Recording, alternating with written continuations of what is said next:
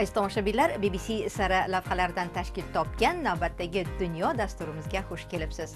Bugungi safarimiz mavzulari bizni qayerlarga yetaklaydi? Kompyuter xakerlari buzg'unchiligi yoki kiber hujumlar inson hayotiga xavf soladimi? Yevropa davlatlari bunga qarshi qanday chora ko'rishmoqchi? Bangladesh dunyodagi eng yirik qochqinlar lagerida yashayotgan rohinga musulmonlarni yangi uylar qurilgan orolga ko'chirmoqda. Lekin ular norozi. Nima uchun? Va avstraliyadagi o'rmon yong'inlaridan omon qolib endi yana o'rmonga qaytayotgan koala ayiqchalari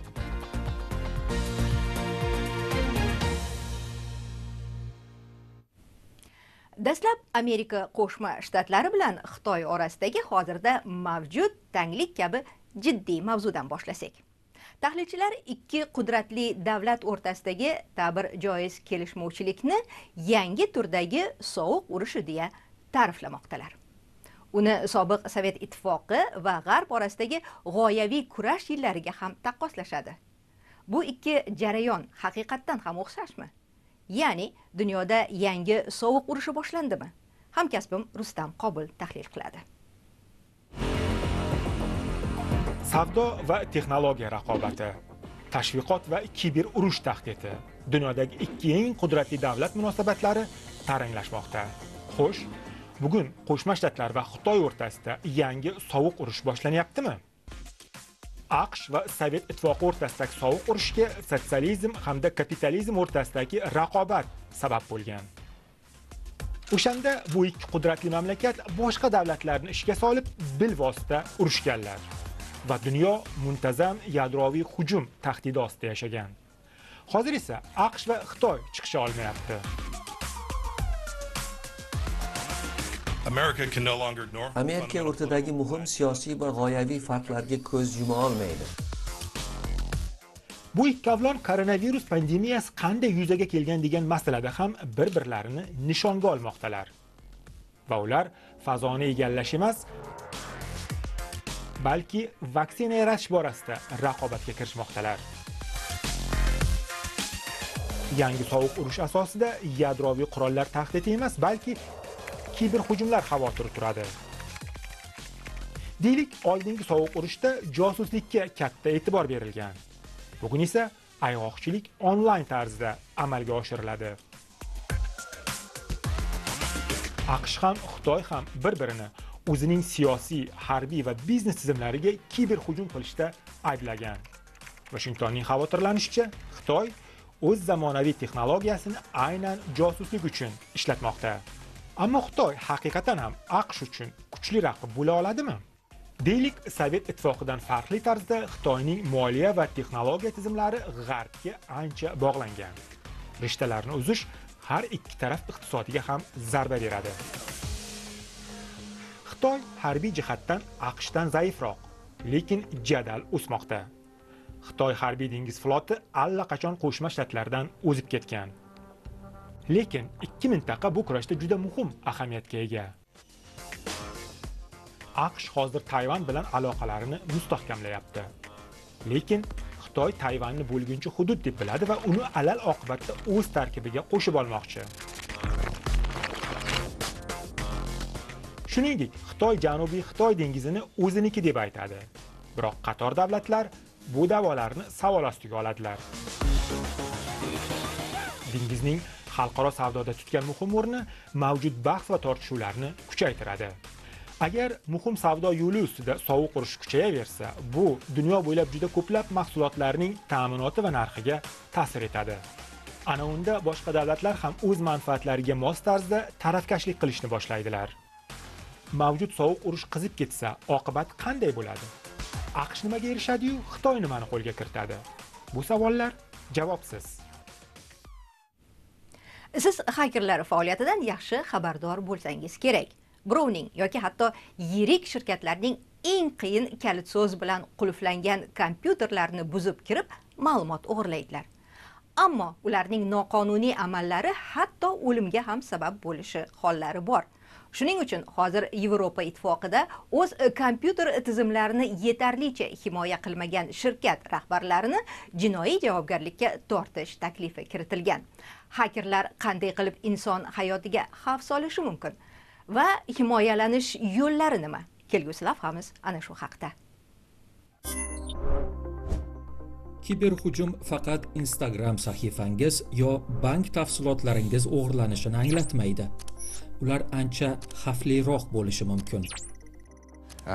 Isitish sovutish tizimi elektr va iqtisodimiz xavfsizligi. Onakray nomli kompyuter virusi harbiy qimmatga ega. Kiber dunyo haqiqiy dunyoga ta'sir qilayotgani tobora ko'p kuzatilmoqda. Ekspertlar yillarki kimdir bundan nobud bo'lishi mumkinligi haqida ogohlantirib kelishgan sentyabr boshida germaniyadagi kasalxonaga qilingan hujum uning internetini izdan chiqardi. Shifokorlar bemorning hayotini saqlash uchun boshqa kasalxonaga ko'chirayotganida u yo'lda jon berdi. Germaniya politsiyasi ochgan jinoiy ishga ko'ra tarixda ilk marta aybdor hakerlar bo'lishi mumkin. Hakerlar 6 yil avval germaniyadagi po'lat tegirmon ustidan nazoratni qo'lga olishgandi. Network. Kiberhujumchilar ofisdagi kompyuterlar orqali tarmoqqa kirib olishgan. So'ng domna peshiga kirganlar va uni rejadan tashqari yopib tashlaganlar. Hukumat hisobotida u halokatli jismoniy shikast deya tasvirlandi. Bu kiberhujum uchun noodatiy ta'rif shunday emasmi? Shunday lekin smart sanoat borgan sari raqamlashtirilar ekan. Bu tobora odatiy holga aylanishi xavfi bor. Bu hakerlarning sanoatga ilk hujumi emasdi. Jismoniy zarar avval faqat bir marta 2012 yilda eronda stuxnet virusi bilan yetkazilgandi. Xo'sh bu kabi ish joylarida ishchilarni qanday himoya qilsa bo'ladi? I think it's very important that um, nazarimda kompaniya rahbarlari kiber xavfsizlikni juda jiddiy qabul qilishlari kerak. Siyosatchilar ham ularning bu mas'uliyatlarini belgilab berish haqida o'ylashlarini istar edim chunki juda jiddiy kiber hujumlarda inson halok bo'lishi mumkin. Uh, transport va energetika kabi muhim zamonaviy sohalarga ham raqib davlatlar muntazam hamla qilyapti 2015 va 2016 yillarda ukraina uchragan hujumda rossiya hakerlari gumonlandi. Yuz minglab odamlar elektr quvvatisiz qolishdi. Marina kiber xavfsizlik ekspertlaridan biri edi. Men nihoyatda g'azablangandim. Sababi birinchi o'rinda bu mening vatanimga bo'layotgan hujum edi ikkinchidan kimdir oddiy xalqning farovonligi uchun muhim bo'lgan infratuzilmaga atayin hamla qilayotgandi. Kiber hujum oqibatida kimdir o'lishi kam uchraydigan holat.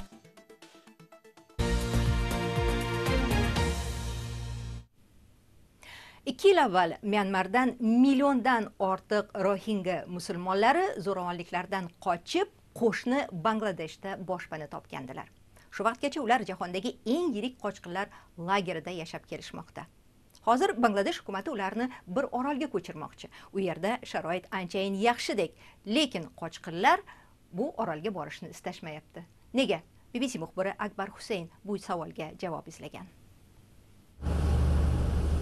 Bangladeshdan 60 chaqirim masofada joylashgan basan chor oroli hali yap yangi. U 15 yil oldin himolaydan oqib kelgan loy va qumdan hosil bo'lgan. Bangladesh hukumati 100 ming rohinja qochqinlarini mana shu yerga joylashtirmoqchi. 2017 yil myanmarda 100 minglab odam harbiylarning taqibidan uylarini tashlab qochgandi. Hozir ularning 1 millioni bangladeshdagi chodirlarda yashamoqda. rasmiylar oroldagi hayot odamlar bilan to'lib toshgan jamloqlardan yaxshiroq bo'lishini ta'kidlamoqda এখানকার অবকাঠামোগুলি eco friendly এনভায়রনমেন্টে করা electricity bu yerdagi infratuzilma tabiiy ochiq joylar ko'p koks bozoridagi jamloqda yo'q elektr toki bu yerda bo'ladi muhimi ta'lim rohinja bolalari yaxshiroq ta'lim olishi uchun norasmiy o'quv markazlari qurdik Basan chor dengiz sathidan atigi bir nuqta sakkiz metr balandlikda joylashgan. orol to'fon va suv toshqini kabi tabiiy ofatlarga duch kelgan. orolni suvdan himoyalash uchun 14 kilometrlik sohil ko'tarildi. Bu orolning qurilish davridagi tasviri. Dengiz qayerda tugab quruqlik qayerda boshlanishini topish qiyin. Huquqbon va qochqinlar bu orol mintaqada tez tez ko'tariladigan dovulda shunchaki yuvilib ketishidan qo'rqishadi may oyida dengiz kuchlari 300 rohinjalikni qutqardi. Ular ushbu orolga olib kelindi. Qochqinlarga orolni tark etish taqiqlangan. Safarimizga mas'ul bo'lgan harbiylar ular bilan uchrashishimizga izn bermadi. Orolda chorva mollari bor lekin hammani boqishga yetmaydi. Qochqinlar oziq ovqat ta'minotiga muhtoj bo'ladi. Ko'ks bozorga qaytarkanmiz qochqinlarning orol borasida umidsiz ekanligini ko'rdik. Jamloqda faqat zaruriy sharoitlar bo'lishiga qaramasdan qochqinlar orolga ko'chib o'tsa o'zlarida bor kichik erkinlikni ham yo'qotib qo'yishdan qo'rqmoqda.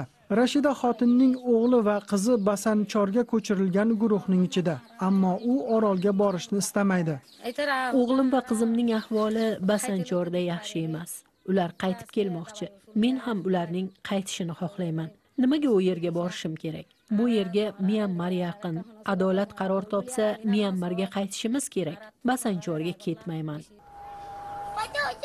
Uylaridan qochganiga 3 yil bo'lgan bo'lsa-da rohinjaliklarning imkoniyati cheklangan. Ular ko'ks bozorda tor jamloqda qolishi yoki orolga ko'chib ketishi kerak. Myanmarga qaytish yo'li yo'q.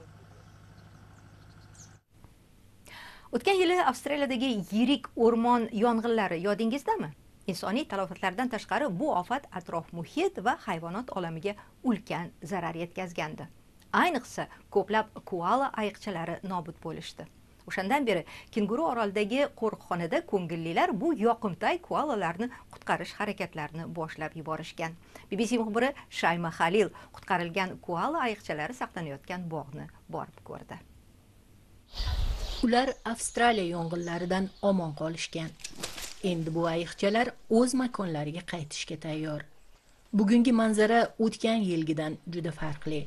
Qattiq kuygan hayvonlar tasvirlari dunyoni larzaga solgandi. Orol alanga ichida qolarkan yuzlab jonivorlar mana bu hayvonot bog'iga keltirildi. Kuyish ochlik va suvsizlik bilan birga ular ruhan ham shikastlanishgandi. Ko'plar o'zlarini juda yomon his qilishardi yunglari kuyib kal bo'lib qolishgandi. Yirtqichlarga xos jangovorlik yo'q edi. Kanguru orolida yashagan ellik ming koala yoki xaltali ayiqchalarning aksari yong'inda qirilib ketgani aytiladi.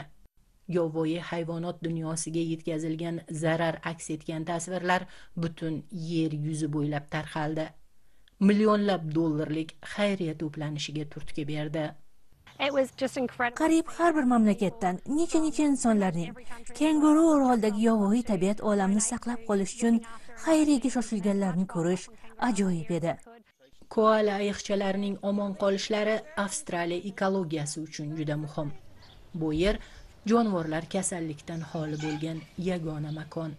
Ushbu hayvonot bog'ida oylardan beri yuzlab koalalar xaltali ayiqchalar parvarish qilindi ularning ko'plari uchun bu uzoq va mashaqqatli safar bo'ldi. Maqsad ushbu jonivorlarni yovvoyi tabiat qo'ynida omon qolishlari uchun yetarlicha kuchlantirish edi va bugun ularning biri qo'yib yuboriladi. O'n oylik parvarishdan so'ng merchan uchun katta qadam. Dana uchun esa achchiq ayrilib kimnidir parvarishlab davolab uni tabiat bag'riga qaytarish va o'zlari bo'lishlari kerak bo'lgan joyga daraxtga chirmashib chiqishlarini tomosha qilishdan ko'ra yaxshiroq his bo'lmasa kerak. Orolning qayta tiklanishiga yillar kerak bo'ladi. Ammo merchan singari ayiqchalar tabiiy muhit qanchalar o'zgargan bo'lmasin o'nib o'sa oladilar deb umid qilinadi bbc dunyoda bu galgi sayohatimiz ham o'z nihoyasiga yetdi. Bizni barcha ijtimoiy tarmoqlarda bbc o'zbekda izlang toping va tomosha qiling. Veb sahifamiz bbc o'zbek nuqta com. Kelgusi hafta uchrashguncha.